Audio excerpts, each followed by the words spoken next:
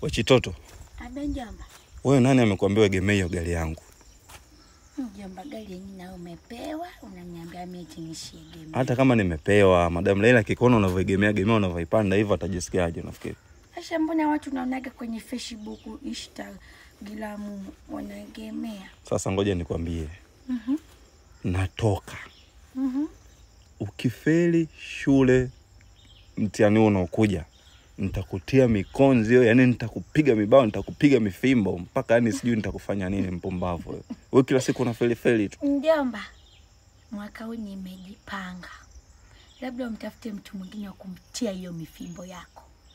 Mimi huwezi kunitia mifimbo, tafuta mtu wa kumtia. Nimejipanga na shoma Una uhakika? ashoma, mjomba, ashoma, ashomeka.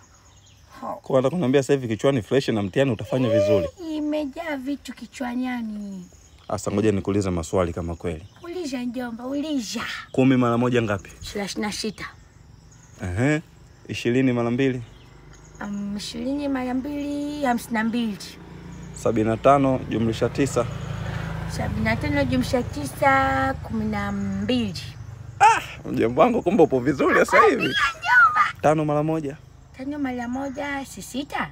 Ah, kweli. Yaani sasa hivi upo vizuri mjomba. Yani utafute mtu akumchia Ah, mafimbo. Mimi huwezi kunikamata ni na shoma. yani nikishika hivi daftari Eh. ah, naua maslaidi yote. Ah, Simba kwa Kiingereza anaitwaje? Kau Ehe, kuku kwa Kiingereza, choptin gari kwa Kiingereza. kablen Ah, mjomba upo vizuri, kitoto upo vizuri. Mjomba kwa Kiingereza anaitwaje? amplin Ah, mimi Amplin. amplin Eh, wa mjomba wangu. yo. amplin wangu safi kabisa. Sasa hapo umeua. Yaani mjomba saizi